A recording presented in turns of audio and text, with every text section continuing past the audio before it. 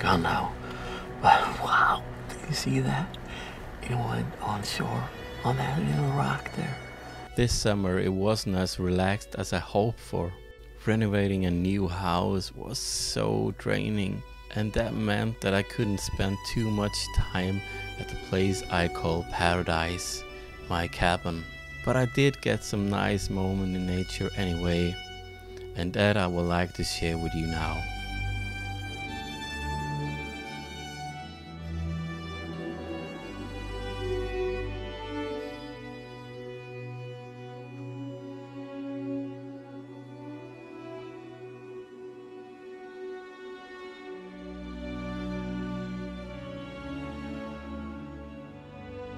A nice surprise was when I found a beautiful butterfly called Scarce Copper. And I always love to do some macro photography in the summer.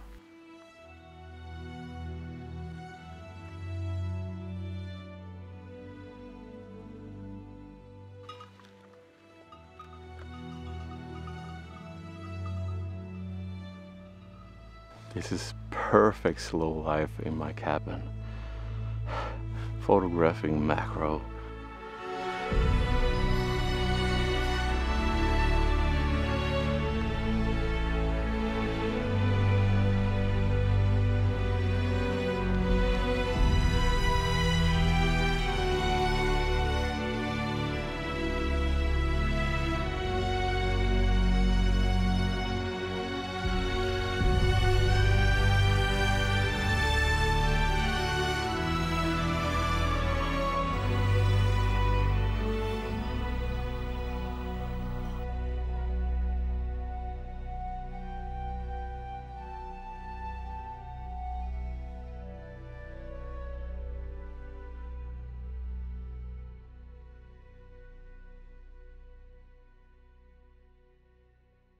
After weeks with stressful days with like renovating a house and move out of apartment all that kind of stuff it took the energy right out of me.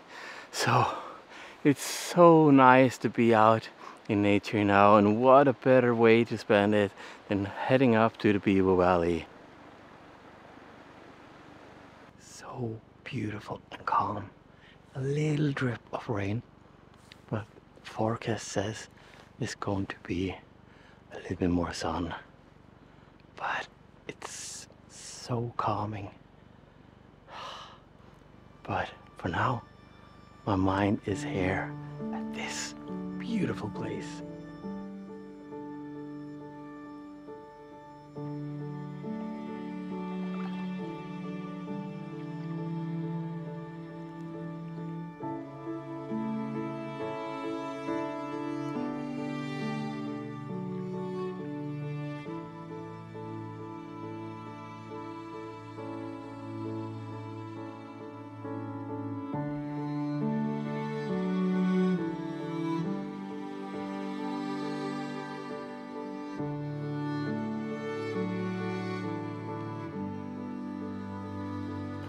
I found my position now and uh, this is so nice. I cannot find a better way to spend an evening. It's perfect, so more, so calm and so relaxing with almost no wind, but the wind direction is like blowing from this side to this side, so it's blowing into shore, and I hope I will be covered by that. But the great thing about this uh, floating blind here is that it will cover my scent better. And the um, floating blind uh, actually also had spent the night here in this little valley, so it should be okay to like get rid of all my scent. And uh, yeah, so I'm a little shielded from my own scent, and I think that will be perfect just perfect. And I hope, I hope the beaver will start to eat in front of me. I've only seen the beaver eat once, and that was last year and far, far away. But I haven't seen the beaver eat here in this little valley. And I know that the, normally the beaver will start to eat. The first thing that it does when it comes out the beaver hut is to start to eat. And that also the last thing that does before going into the hut in the morning. But yeah, we just have to cross our fingers. And I also put some branches and some leaves on the on the floating blind to hopefully like get rid of even more of that silhouette and maybe the beaver could be a little bit more relaxed around this device here.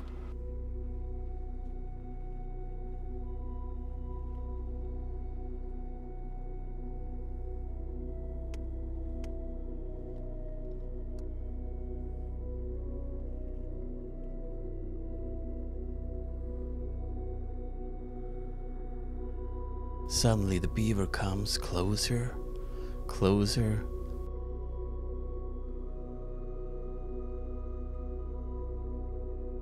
And closer, and my heart beat it so fast.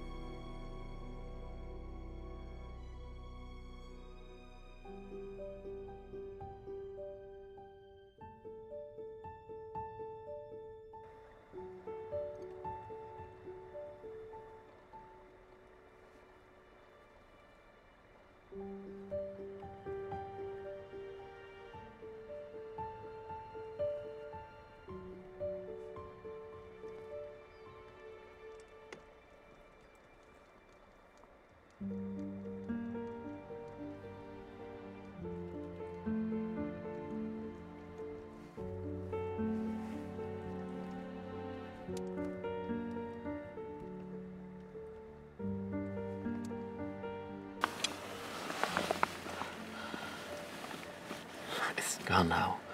But wow, do you see that? It went on shore on that little rock there. I finally got the beaver on shore. A couple of photos there. I didn't see the whole beaver. I wish I, I could that bad. Wow. It went on shore. I wish, wish there could be a little bit longer on that little rock there. But ah, so nice. I got my wish come true though.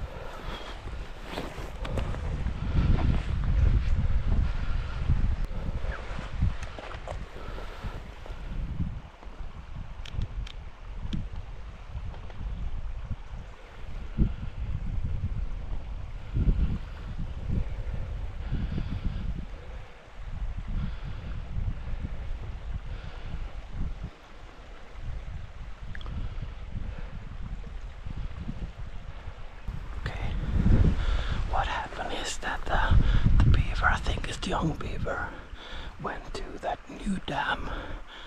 I can see it behind there, but it's not easy to to find a good place to photograph it. But it is here. It is here. I don't know where is that.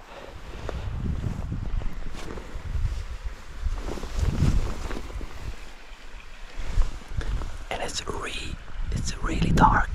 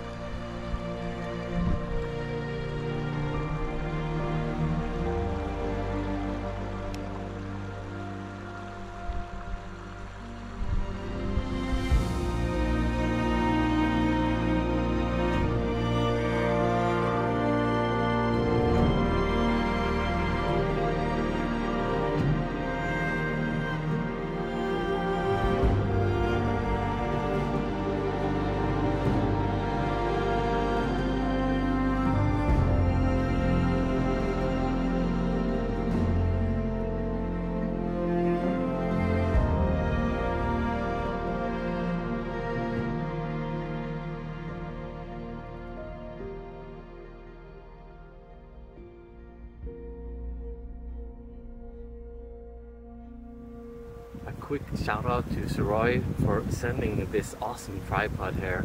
This is designed for wildlife photographers. And the great thing about this is not just colors that is blending in more in, in the environment because of the camouflage uh, color that it has on the whole tripod. But this comes also with uh, the gimbal head here. And I have used this similar gimbal head from Sirui before and I love it.